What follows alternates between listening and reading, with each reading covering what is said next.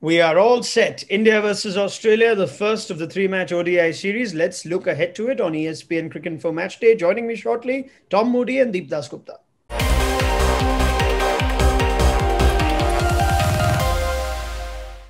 Gentlemen, I hope you all are ready for international cricket resuming for India. Australia have still had a bit of it uh, in England. Let's start with our five point preview for the first ODI. Deep, we're saying KL Rahul should bat in the middle order. Uh, I agree. I think KL Rahul shouldn't uh, bat in the middle order because uh, he got 100 in the last series batting at five. And that's the area where uh, there, there has been, it's been an area of concern, number four, number five.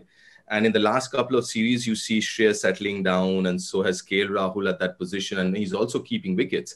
Mm. So I think I'm, I, I don't want to uh, ruffle feathers there or, or change anything there. Uh, I think that's one area that India has struggled in the last maybe three, four years now. Mm. Tom? Yeah, look, it makes perfect sense. I think since the retirement of MS Dhoni, uh, it's left a big uh, gaping hole in that middle order, and we saw in the in the most recent World Cup uh, that was really the the issue that India faced, the confusion around selection in that position. So I think if uh, if they feel that KL Rahul uh, is the fit, they should stick with him. He clearly shows statistically that he's comfortable there and he can perform there. Uh, it's just a, a luxury of uh, a situation where India have got so many people that can open the batting, but not as many that can bat four, five, and six. Mm, all right, fair enough. In which case, there is now an opening slot that is up for grabs, along with Shikhar Dhawan in Rohit Sharma's absence. And Mayank Agarwal and Shubman Gill both have impressive list A numbers. They both had impressive IPLs. Tom, who would you pick? Yeah, look, I, would be going with uh, Mayank Agarwal uh, purely on the basis that I think that he's he's the more mature, developed player, uh, and I know we're a fair way away from the World Cup, but you know it's not like he's long in the tooth. He's got plenty of cricket left in him. Uh, he'll be probably at the peak of his powers come that World Cup. So if you do need uh, a substitute to replace uh, Rohit Sharma or Shikhar Dhawan, which is your preferred opening combination, to me he's the obvious choice. Hmm. Deep, Agarwal or Gill? Yeah, I, am I'm, I'm going to go with Tom. I, will go with Agarwal to open with Shikhar. Uh, obviously, he's in great form. So is uh, Shubman, but uh, Mayank, uh, he's, he's in a different league right now. The way he's batting the IPL, or the way he's been batting the last year, year and a half.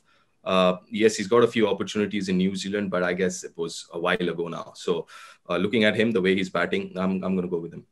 Hmm, all right. What about Australia's selection calls? There's no Mitchell Marsh in this tournament, Tom. And they've picked a very highly rated all rounder in Cameron Green. Good first class numbers, hasn't played international cricket.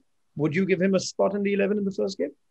I would love to give him a spot, but I don't think he fits in. Uh, he's he is a pure all rounder. He's a he's a quality batsman, uh, and he's also you know a tall. He's about six foot seven. This young kid, uh, who can bowl 140. So he's he's rare commodity. Someone that can fit into your top six, but also carry some workload with the ball and have an impact. But I think at the moment the timing is not quite right for him.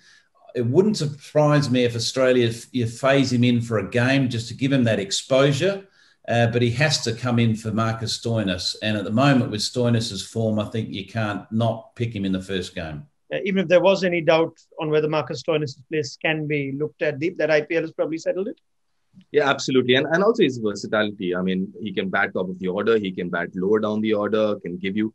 And, and listen, I mean, if, if you look at that Australian side, they're so well uh, balanced side. You have someone like Pat Cummins might come in at number eight, nine, and he can bat. Mitchell Starc can bat. So, uh, you know, I think uh, it's, it's a very well balanced side. And um, obviously, I mean, it's a very good side as well. Hmm. All right. What about India's bowling selections? Kuldeep and Chahal or Kuldeep or Chahal? Deep.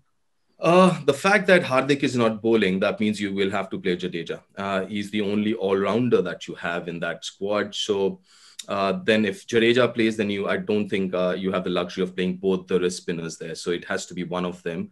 Uh, and uh, I would pick Chahal over Kuldeep at this point in time. So unfortunately, can't play both the wrist spinners with uh, with Hardik not bowling.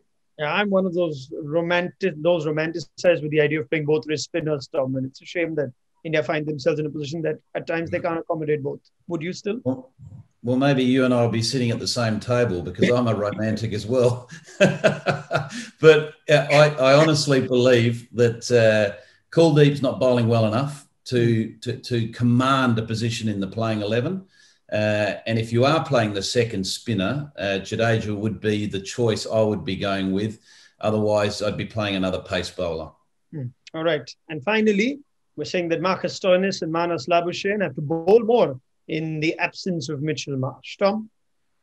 Yeah, absolutely. And I'll include Glenn Maxwell in that as well. I think that trio would be the three that will be, the make up the the fifth bowler for Australia. And you can guarantee that Finch will be very clever the way that he manages his bowlers and make sure the right matchup. So he'll getting he'll try to get overs out of Maxwell, you know, to the left-handed batsman and and uh, you know whoever's sort of on a little bit of a roll or has some sort of rhythm, making sure that they get uh, plenty of overs out of that individual. But they've got three bowlers to get that fifth bowling slot complete, hmm. um, so they should be able to work through all that. Mm. Conversely, you think Deep, this is an area for India's batsmen to look at. You got Starc, Cummins, Hazlewood, Adam Zampa, but the fifth bowler, it's a bit of a question mark. It is, but you have the luxury of three very good bowlers as well. I mean, on their day, they can actually bowl 10 overs, the whole quota. Uh, maybe not Ma- uh, Marnus Labuschagne, but apart from that, I think Stoinis can on his day. Uh, so can Glenn Maxwell. So, uh, yeah, I mean, that's the luxury that Aaron Finch has. I mean, three bowlers to get 10 overs. I mean, come on, uh, look at India. I mean, you, you, you have no one who yeah. can in the top six. I mean, if you look at that, I mean, that's the difference for you there straight away. Fair enough. Thank you very much. Deep Dasgupta, Tom Moody, more from you ahead of the second ODI. We're all set for it. India v Australia at the SCG with 50% capacity. It'll be nice to see the fans back. And of course, all the analysis on ESPN Cricinfo Matchday.